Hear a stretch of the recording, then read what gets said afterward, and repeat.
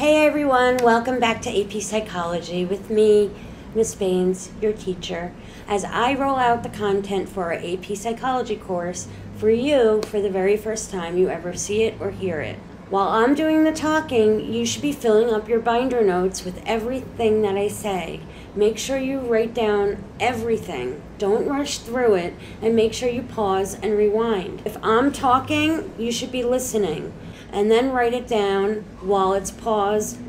Rewind a little bit, write it down, and then you can move forward.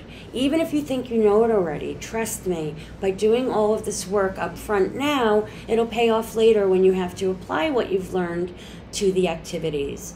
Okay, so the extension of today's activity will be tomorrow, and a lot of the things that you were doing have names. So hopefully you will have watched this or Rochelle's video, and you won't have to ask me anymore. Miss Baines, what is top down or bottom up learning? I was probably a little bit upset with you if you asked me this today, because presumably you had already had the notes of part one. That's what our activity was based upon today. Okay, and now the day after tomorrow, we'll be having a quiz, which may or may not be open book this time. So I think you get my drift here. Today it's Unit 2, don't forget to grab those ever so important binder notes that accompany today's video, which is Unit 3, Video 2, Introduction to Sensation and Perception, Part 2. I'll see you on the other side.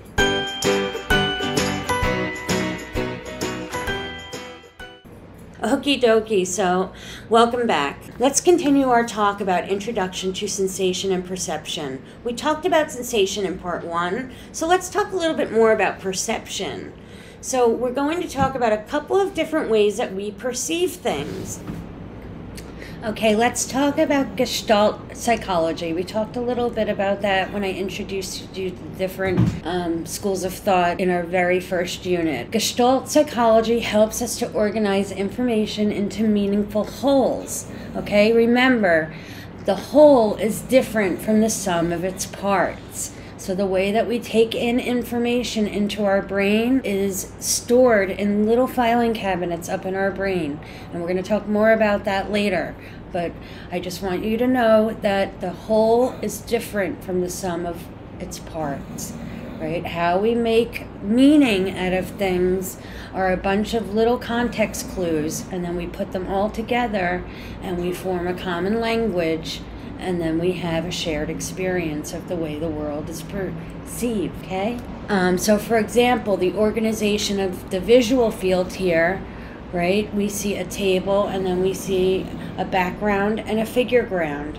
Okay, the figures that stand out from each other are these black forms making a little star shaped, but we know we have a desk or something behind it. Okay, so our brain fills in our context clues to know which thing is which. Gestalt groupings are really important also in terms of um, figures from foreground and background, and our perception needs to organize and figure out meaningful forms using different grouping rules. Okay, we have closure, right? We fill in the blanks on this one. We have proximity when we have different columns of amounts. We have continuation with the keys over here. Similarity with the filled in black dots and then the not filled in black dots. And then connectedness, right? With this barbell, we know that if one is on one side, that the other one has to match. Okay, so the way we see things and the way we perceive them and put them together is that the whole is greater than the sum of its parts. Once we have the picture in our mind of what we know to be true about whatever that picture is, of say, I don't know, my dog, right? If we have a picture of Lulu here, we know from a whole series of different experiences that I have had that this is my pet and I love my pet and she's so very, very cute. Okay, so just keep all these things in mind about the Gestalt principles as we go over each one of them individually. There's sort of a whole set that's behind the theory. Okay? So, first up is the way that we visually perceive things. First way is called stroboscopic motion. This is our tendency to perceive motion when a series of still images are slightly buried and then flashed at you in rapid succession. This should be very familiar to you because this is how movies are made or were made, especially animation. But all movies, for that matter, used to be made this way.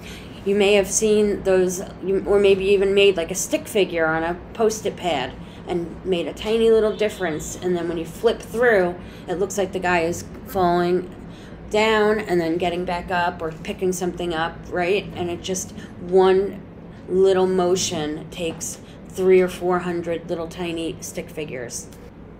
Okay, the next one is perception of movement, known as the phi phenomenon. This is where lights are used to illustrate motion. We see this a lot in neon signs, right? This was really popular in the 1950s, 60s, 70s, but we also see it in Christmas lights, especially those that are displayed with music, right? It almost looks like the strobing of the lights are going to the rhythm of the music. Other types of perception that we have, or rules of perception, I should say, are things like perceptual constancy. So if we perceive events or objects, even if the illumination or the actual retinal image changes. So what I mean by that is when we see something, when we see something change shape, like let's say, for example, a door as it's opening, right? When it's shut, it looks flat and one dimensional. When it opens, it looks three dimensional because we see another angle of it.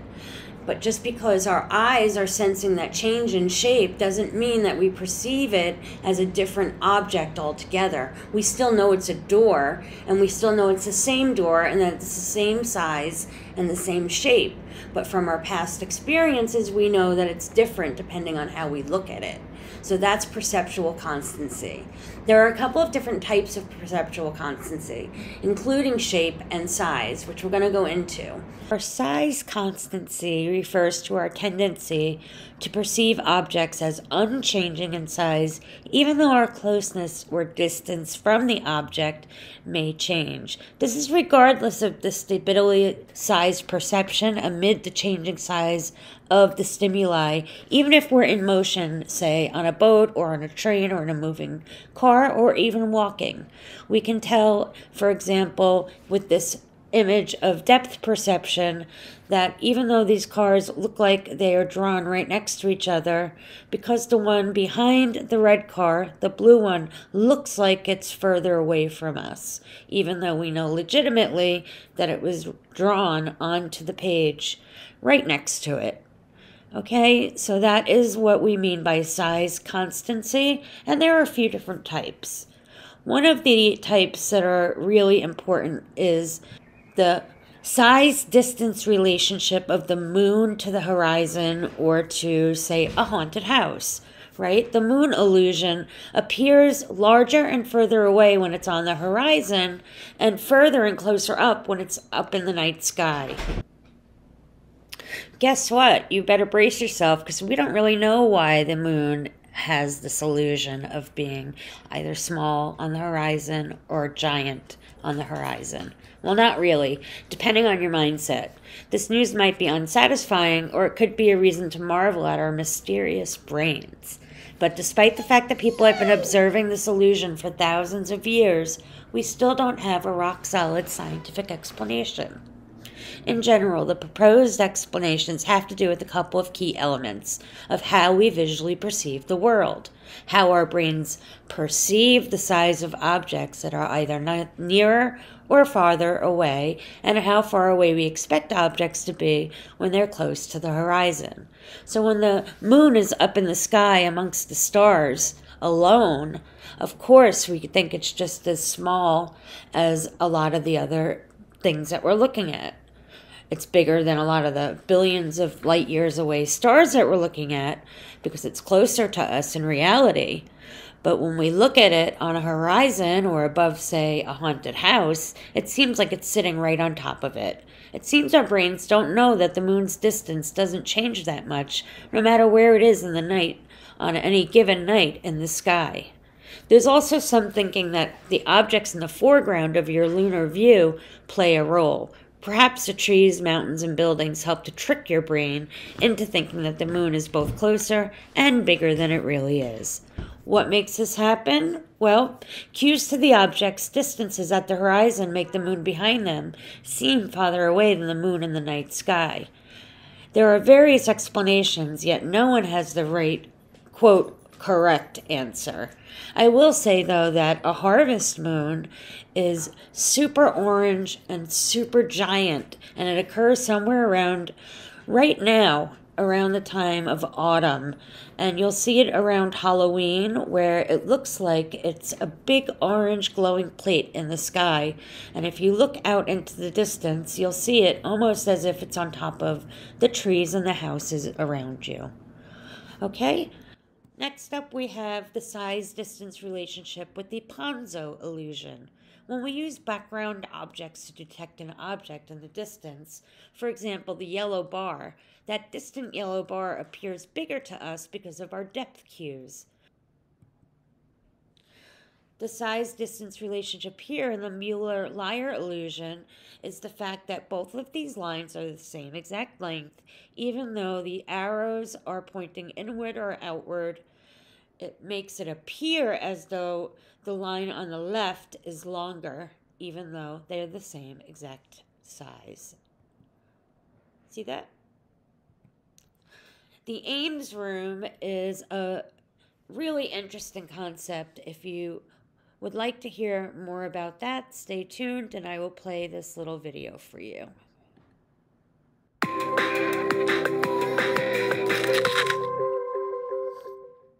Does what we see correspond to what's really out there? Or does our brain construct its own version of reality, one that does not always match up with the physical universe?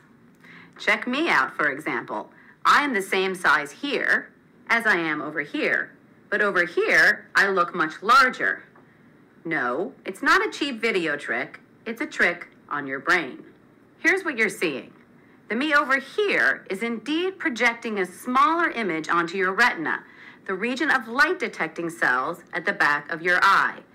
All else being equal, smaller images mean smaller things. Here, I'm in no danger of hitting my head on the ceiling. But over here, I am ducking. Ceilings are useful visual landmarks for judging size. Of course, you're making these size estimates based on the assumption that this room is ordinary and box shaped. You assume the back wall is perpendicular to the line of sight, so the two versions of me are the same distance away. You're also assuming that the floor and ceiling are level and parallel. But as you probably guessed, this isn't the case, and the room isn't box shaped at all. It's trapezoidal. The back left corner of the room is much farther away than the right. Since I'm farther away over here, my image is smaller, although I'm definitely not. The ceiling cue is also misleading. The floor actually slants upward and the ceiling downward from left to right, making my head much closer to the ceiling when I'm over here. Why couldn't you see these things and adjust your size estimates? The room's features have been cleverly distorted to be consistent with a rectangular shape. The checkerboard pattern on the floor gets finer grain toward the right so that the same number of pattern elements fit in a shorter distance. The windows are resized and shaped to match the trapezoidal back wall. Your narrow angle of view from the front of the room blocks the cues that would reveal the room's true shape. And of course, we easily believe in a box shape because that's the shape rooms normally are. This clever setup is called the Ames illusion. American ophthalmologist Adelbert Ames Jr. devised it in 1934 and built a physical example the following year.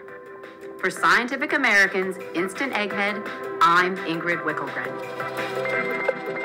Known as sensory deprivation, also known as perceptual isolation. So, for example, if kittens were raised without the exposure to the horizontal lines, they would later have difficulty perceiving horizontal bars. It suggests that vision is at least partly an acquired sense, something that we learn as we experience the world around us. Not everything is innately built into us. Because all mammals have similar experiences in terms of the way that the sensory information is stimulated into our five senses, and then we make perception out of it through our brain once the signal gets there. Perceptual adaptation is the visual ability to adjust to an artificially displaced visual field.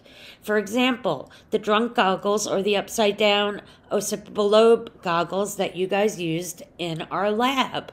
Or maybe if you're taking driving lessons, they have you use these in driving school. We humans can adapt even to those upside down worlds if we were to wear them long enough.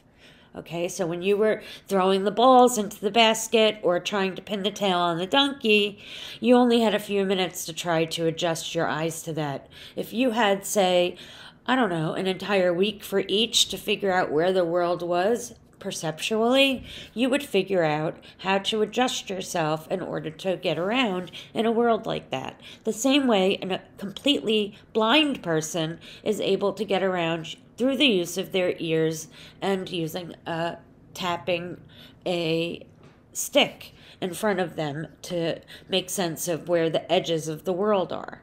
Okay? A perceptual set, then, is the mental predisposition to perceive one thing and not another.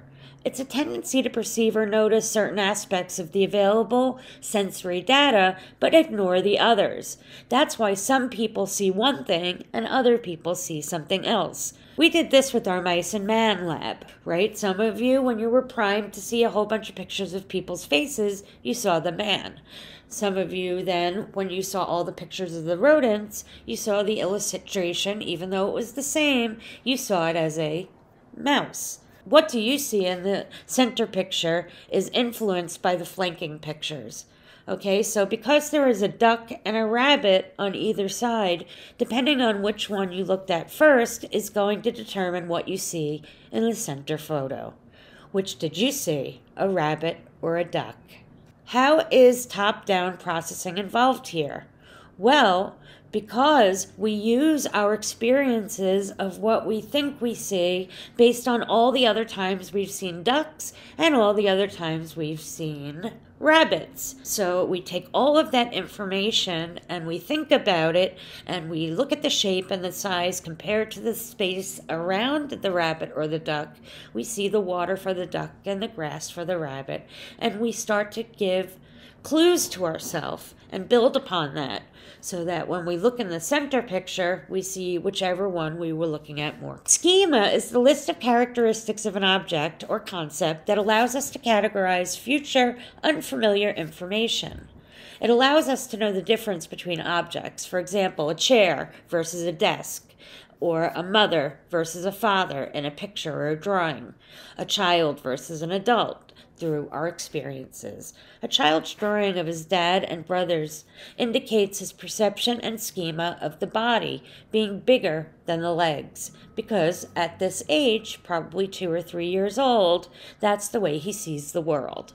It influences how you will perceive future and unfamiliar information. Okay, so notice that the smiles are really big and giant. That means that this kid experiences the world as grown ups being happy. Context effects. When we are given a stimulus, we can evoke radically different perceptions based on the immediate context of that stimuli. How would your parents respond to you if you were failing a course if you first tell them that you were arrested for robbing a bank? Even though it's a lie. They'll probably perceive failing a grade in your class a little bit less harshly if you prime them with that of, oh my God, I did this horrible thing. I robbed a bank and I got caught, or I shoplifted and they almost arrested me, right? Telling them about a bad grade is not going to seem so, like such a big deal. Cultural context is when we are the way we are because of the way that we were raised, the way that we were schooled, and the way that we experience the world around us.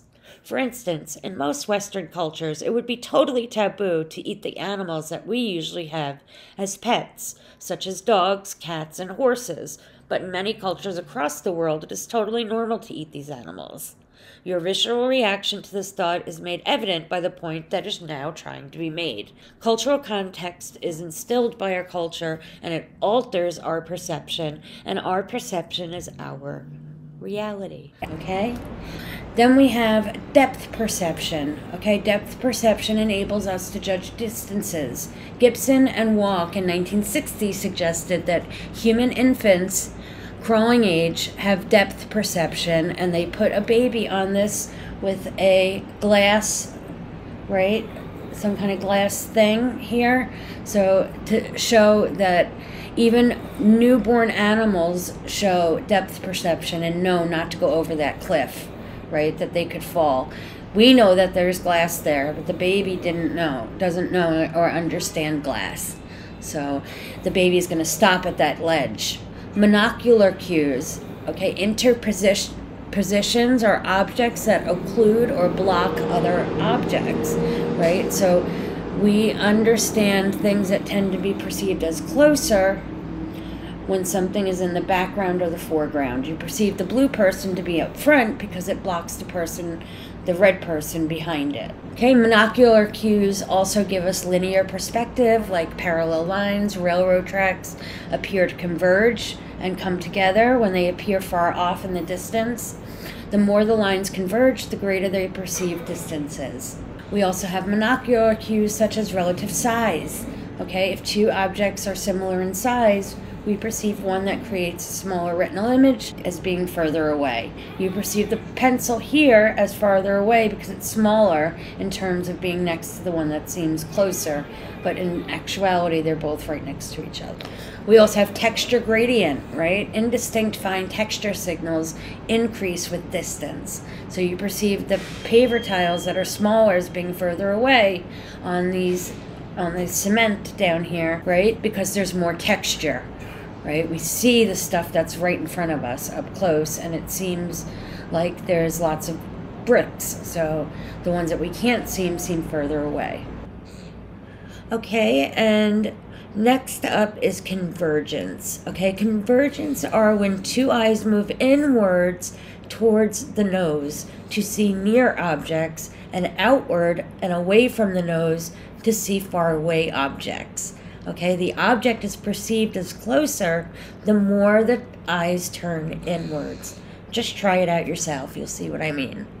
Okay, so if you're looking at a flower in front of you, you're gonna look down at the tip of your nose the closer that it is, right? If it's further away, you're gonna look upwards and out. Okay, and our last concept is retinal disparity. Okay, retinal disparity is when the images from two eyes differ. Okay, the greater the difference is between the two objects, the closer the objects are. So if you see in this image here, try looking at your two fingers half an inch apart, about five inches away from your face okay? You will see a finger sausage as shown in the diagram with the trees, okay? Check it out. This goes along with what I did on station four, I believe, with the things on the board where you went one inch away to try to read the big letters and then seven feet away to try to read the tiny little letters. Okay, so retinal disparity is the concept that you would be using to um, make out those different types of sizes of things as you're looking at them. Alrighty, that's all I have for you today. So I hope you enjoyed part two of Sensation and Perception, and I'll see you guys tomorrow. Have a great night. Bye bye.